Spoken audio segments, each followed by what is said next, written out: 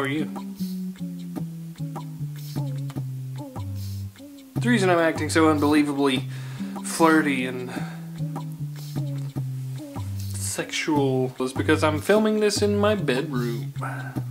That's right, right here behind me, that is where all the magic happens right there, baby. Of course by magic I mean snoring and farting. My wife is gonna kick me in the balls for saying that. I just felt the urge to make another video right now, so here I am. Um, camera set up, actually in the doorway of my bathroom and looking into my bedroom because my son is in his room uh, asleep or, or, trying to get to sleep and that's where I normally film my videos. And like usual, the battery's going down on the camera, so let's see what I can get out before that happens. Today we had a lot of errands to run, so naturally we got behind and things didn't go as planned and we spent the whole day pretty much trying to get the stuff that we wanted to do done and that really didn't happen. An example of how weird things went today, we decided to go to the Mall of Georgia and we loaded everything up into my car and we get all the way down there and we realize we forgot to bring the baby stroller but we brought the baby. What is a parent to do in that situation? Well ladies and gentlemen, luckily the mall people offer these...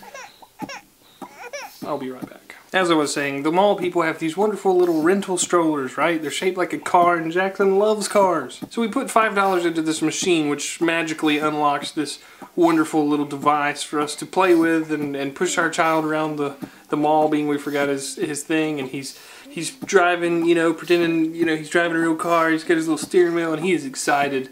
But it's at this point, tell him, it squeals so unbelievably loud and annoying it's causing a scene. Apparently the good people at the Mall of Georgia do not regularly maintain these child buggy cart things and so you know they, they don't grease the wheels they don't they don't do any kind of maintenance to them it looks like. So uh, here we are trying to push our child through the mall and the wheels are squealing and everybody's looking at me and my face turned red. It was just crazy. Uh, so naturally I did what anybody would do and I tried to find somebody that worked uh, you know, in and around this area that could help me maybe exchange it for another uh, rental cart. And uh, oddly enough, nobody could help me. The one guy that was floating around there that I was told could help me apparently didn't even speak English, uh, but pretty much said, oh sorry, oh, sorry, nothing, nothing. And what he meant by that was, uh, I'm sorry sir, there's nothing I can do. Uh, I'm uneducated. And I'm not picking on him because of his job or anything. I'm picking on him for the fact that he couldn't speak English uh, in a mall, you know, where, where he has to deal with the public. Why, why can't he speak English? That's the predominant language.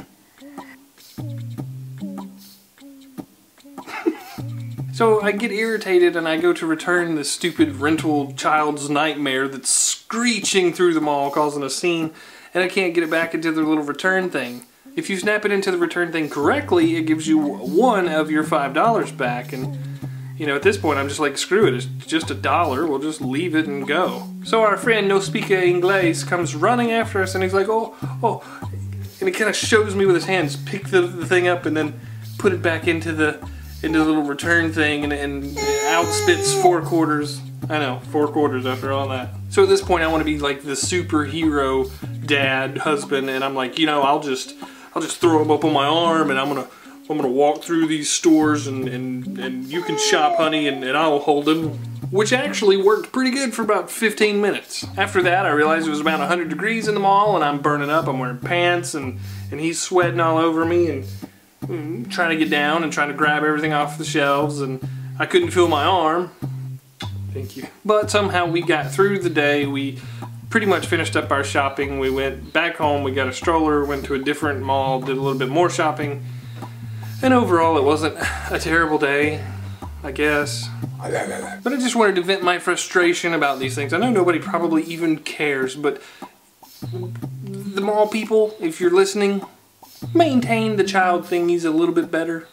And people that uh, have kids, always, always remember to take your stroller with you if you take your kid with you.